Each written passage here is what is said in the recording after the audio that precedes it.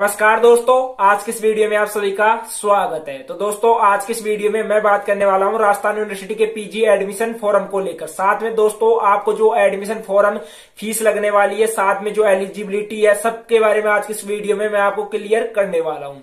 तो चलिए दोस्तों को स्टार्ट करते हैं। सबसे पहले मैं आपको बताना चाहूँगा जो आपके इंट्रेंस फॉरम लगने वाले हैं। दोस्तों, उनकी डेट आज से यानी अट्ठारह नवंबर से लेकर पच्चीस नवंबर तक आपकी रहने वाली है। यानी आप इनके बीच में अपना जो भी एडमिशन फॉर्म है वो आप भर सकते हो। इसके बाद मैं आपको जो फ़ीस है, वो भी मैं बताने वाला हूँ।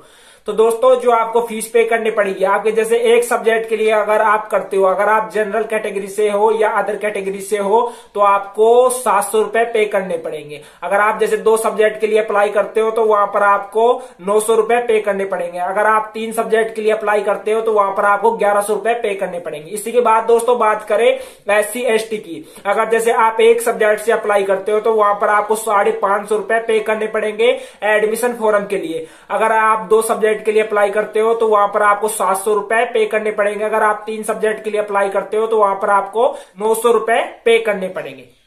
तो दोस्तों, इसी के बाद जैसे आपके 25 नवंबर को आपके एडमिशन फॉर्म कंप्लीट हो जाते हैं, उसी के बाद दोस्तों आपके इंट्रेंस एग्ज़ाम होने वाले हैं।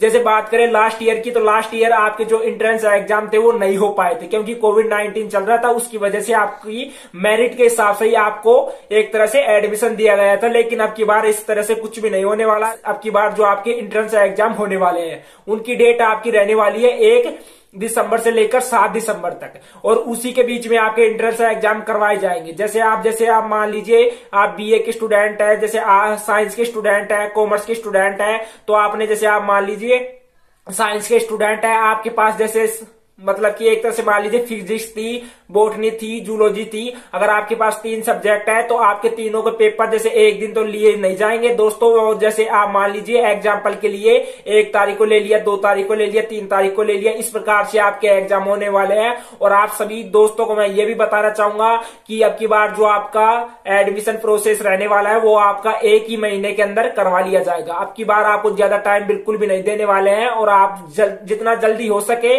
उतनी ज़्यादा प्रिपरेशन कर लेना, जिससे कि आपको बाद में जाकर किसी भी प्रकार की कोई भी दिक्कत ना हो दोस्तों।